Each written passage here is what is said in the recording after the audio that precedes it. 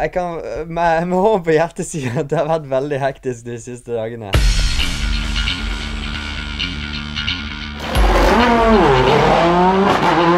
I, I år som, eh, som i fjor så er det preget av korona, men samtidig også eh, veldig vanskelig å være motorsportutøver i dagens eh, holdt på å si, samfunn. Vi, vi går over mot grønt, og vi går fra bensin til el. Eh, det er forventet at det skal skje neste år, og det, det er store på en måte investeringer eh, inne bildet. Og ting tar litt tid. Grunnen for at jeg på en måte før sesongen nå eh, ikke klarte å få i hop en eh, VM-satsing, var litt sånn tilfeldigheter òg. Men til syvende og sist så handler det om økonomi. Eh, så kom vi til forrige uke. Jeg var i Latvia og kjørte en liten test med Team ES motorsport med noen Skodaer. Testen gikk veldig bra, og, og hadde, jeg hadde en god feeling, og teamet hadde veldig god feeling. Fløy hjem til Bergen, og så fikk jeg telefon eh, fra, fra Lithuania og sa at eh, du, vi vil at du skal kjøre EM-runden i Høljes. Eh, og vi, vi diskuterte litt hvordan det kunne løses, og jeg sa vel ja i andre enden. Og la på med Ernesta Staponke, som er deres teamsjef og eier.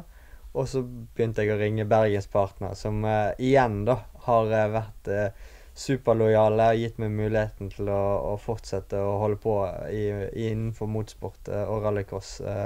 så utrolig takknemlig til alle bergenspartnere spesielt. det er en ny satsing i 2021. det, det blir heftig.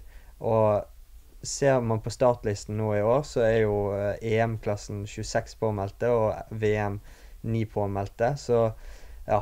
Det blir harde bud og harde tak. Veldig, veldig happy at vi får, får det til i år igjen. Men i dag er det tirsdag, Hvordan, og løpet starter nå til helgen. Hvordan ser dagene ut fremover nå, da? Jeg kan med, med hånden på hjertet si at det har vært veldig hektisk de siste dagene. Uh, heldigvis så har jeg gode støttespillere rundt meg som, som hjelper meg gjennom. Uh, og ja, uh, vi, vi skal, jeg skal inn til informativ etterpå og trykke opp litt teamklær som er litt sånn hasta la vista siste liten. Og, og, det har virkelig blitt en sånn ellevte time signere påmeldinger og sende av gårde.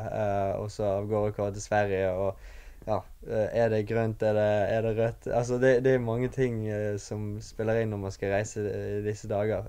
Men sånne ting har jeg på en måte ikke tenkt på. Jeg har på en måte hatt fokuset og har en sånn her Jeg har en sånn god følelse av at det kan bli skikkelig bra, da. men selvfølgelig litt lite forberedelser er det. og det kan gå stang inn, og det kan gå stang ut. Men jeg, jeg har en god følelse.